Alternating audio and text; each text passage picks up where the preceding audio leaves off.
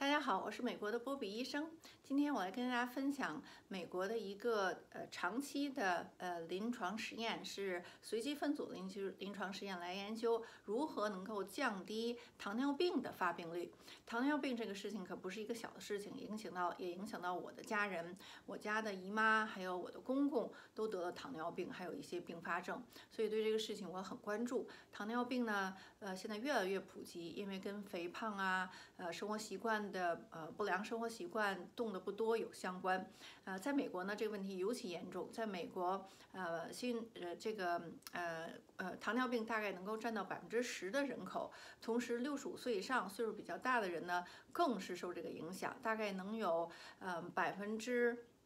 二十九点二的人，六十五岁以上都得了糖尿病。同时，还有一种叫做糖尿病前期，就是已经开始糖呃耐糖性不好了，慢慢以后就要向糖尿病发展。那些情况呢，已经能够在六十五岁以上占到百分之五十了。呃，在亚洲的呃，在美国生活的中国人呢，因为我们的生活习惯、饮食习惯稍微好一些，还是好一点的。但是亚洲人有一个问题是，呃，我们都可能跟医生的交流。有问题啊，或者心里打怵啊，所以有那一呃有呃三分之一的亚洲人得了呃糖尿病前期的这些呃已经到达这个标准的时候，他没有及时就医，呃，所以我今天这个视频呢，呃，跟大家分享一下糖尿病什么是叫糖尿病前期，然后呃还有分享一下这个数据，呃，真正确实是有办法能够来。嗯，把这些糖尿病前期的人，他们的风险降低、延迟，或者是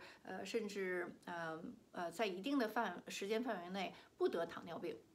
好，这个实验呢是美国呃国家出资的一个实验，呃，这个是在一九九六年到呃二零零一年这个之间开始的。那个时候呢，选的是那些已经有呃高糖尿病高危的这些人群，他们呢或者就是身高体重指数超标，对亚洲来说呢，二十二以上就是超标了。呃，同时呢还要有一定的呃这个糖尿病血液的检查的指标，就是呃空腹血糖已经。超过了呃，已经在九十五以上，但还不到的呃糖尿病的这个诊断的标准，或者呢就是服用呃喝了这糖水之后呢，呃这个血糖的耐受呃呃这个胰岛素敏感性不够，然后他呃喝了糖水之后的血糖就飙升很高，呃在这种情况下把他们。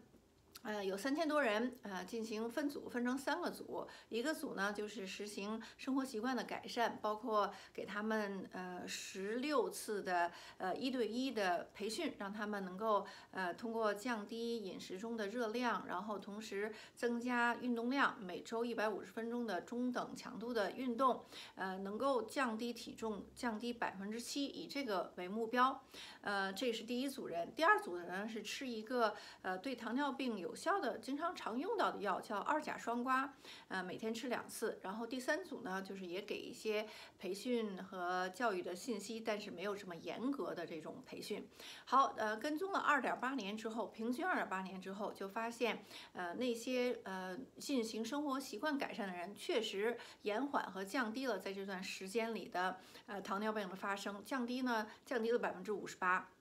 呃，那个什么都不做的那些人呢？一百个人年，呃，这个单位之内呢有十一个人。如果是用了这个生活习惯改善的人，就降到了五点几。呃，那些呃用二甲双胍的呢，也有一定效果，他们也减了一点点重。呃，他们的呃对呃这个呃糖尿病的延迟呢是百分之三十一，没有那么好，没有生活习惯改善那么好。呃，还有人就要问，哎呀，这个生活习惯改善，嗯，它对减重真的有效果吗？在观察的时间的范围之内，只有百分之五十的人实现了体重降低百分之七，呃，所以很多人还一半的人没有实现，而且到了呃这个他这个观测的时间，呃，就是呃进行干预的时间是六个月，六个月之后又呃把他们关注了一段时间，到两年多的时候就发现只有百分之三十八的人还没有呃复胖，所以那个减重不容易，减重之后保持更不容易，但是你只要参加了这个活动之后，